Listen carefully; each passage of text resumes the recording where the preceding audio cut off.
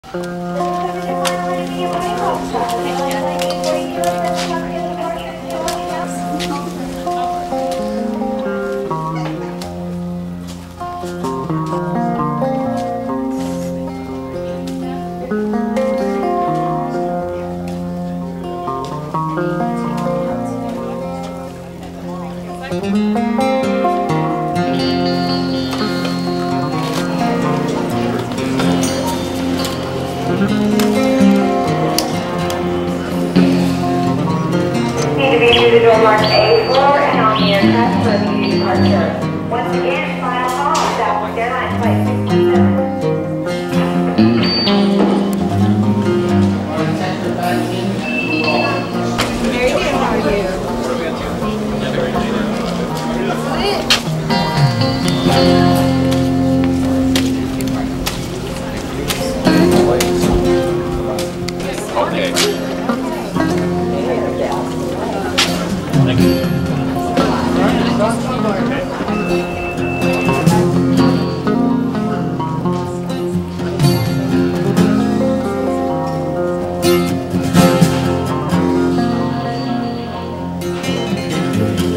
To get some more money.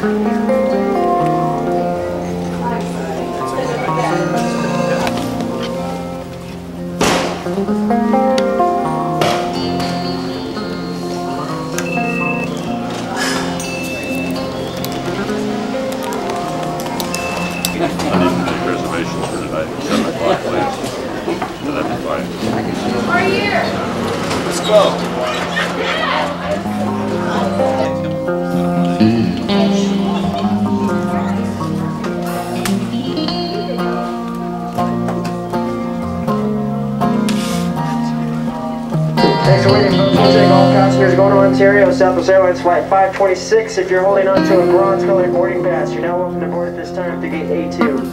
Yeah.